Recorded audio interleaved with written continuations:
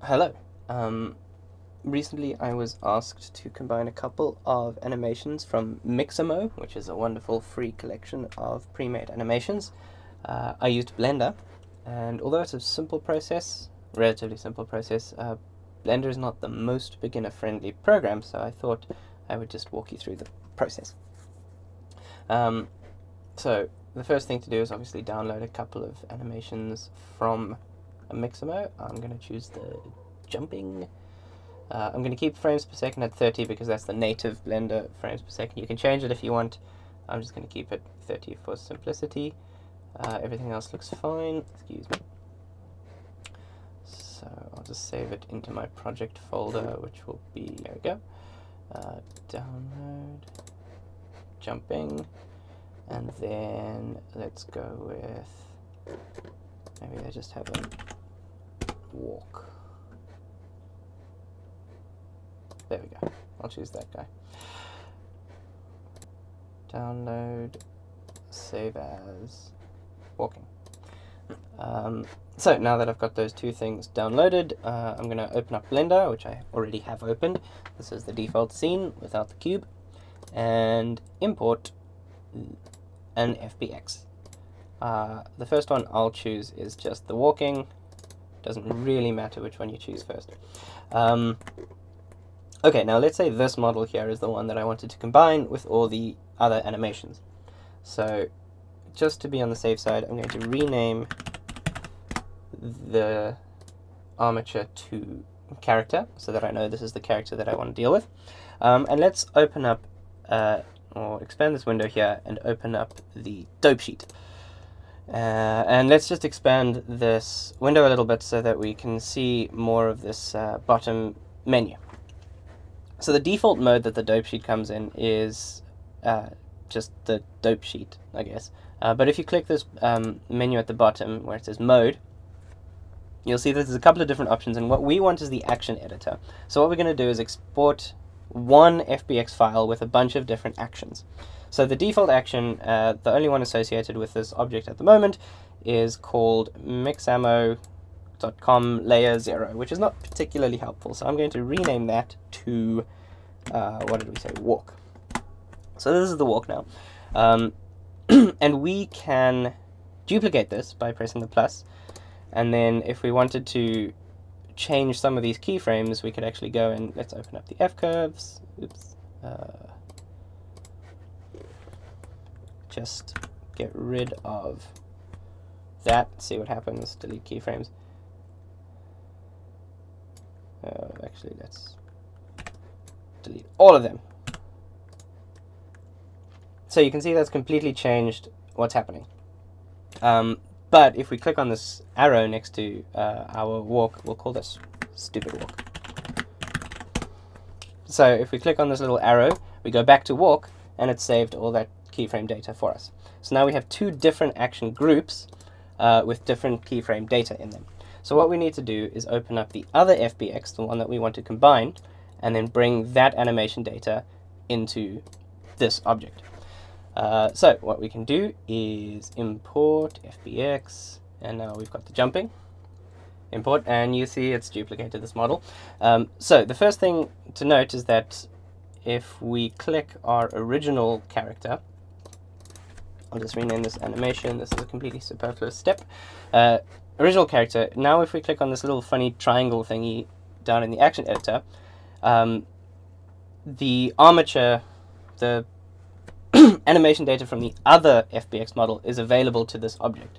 Um, and what's interesting is if you actually delete the, uh, the other FBX, and I'm going to control select that and just delete everything, um, back in our original model, we still have access to the, armature, to the animation data. So Blender deleted the object, but it didn't delete the animation data associated with it.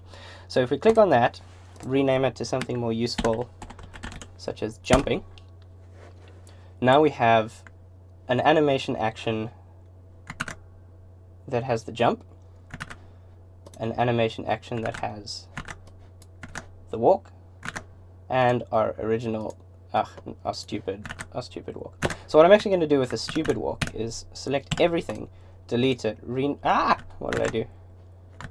um, delete all the keyframes.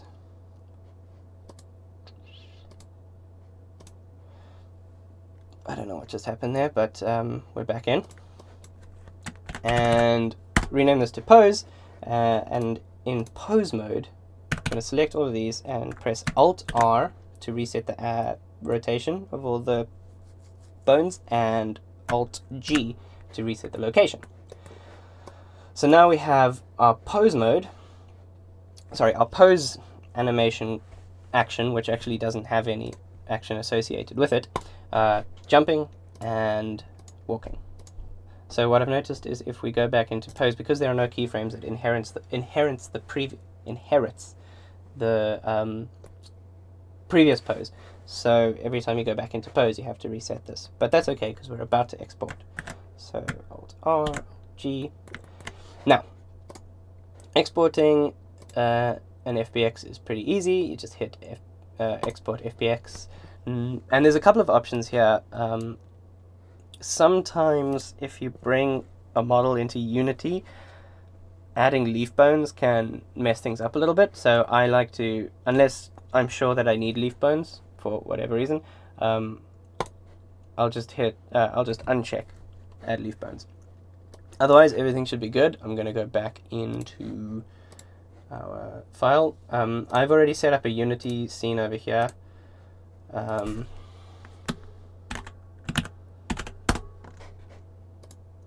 just to test and prove that this actually works. Uh, so if we go into Unity using the fancy new 2018 hub, excuse me, wait for it to load. Okay, so you'll notice that we have, I'll just delete that for now.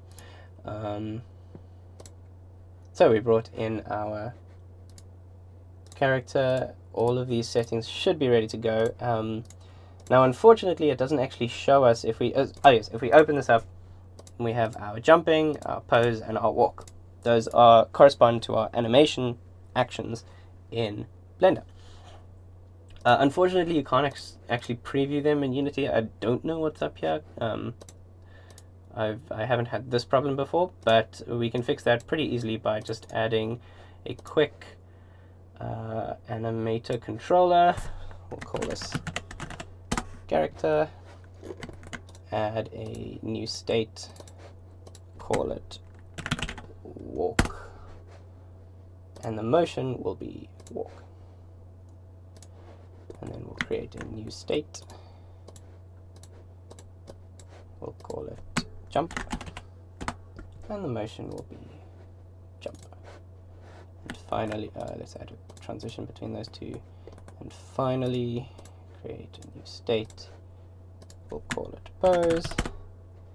And the motion will be pose. So now, uh, all we need to do is apply this character animator controller onto our character. And if we press play, we should see walking, jumping, and pose. Perfect. Okay.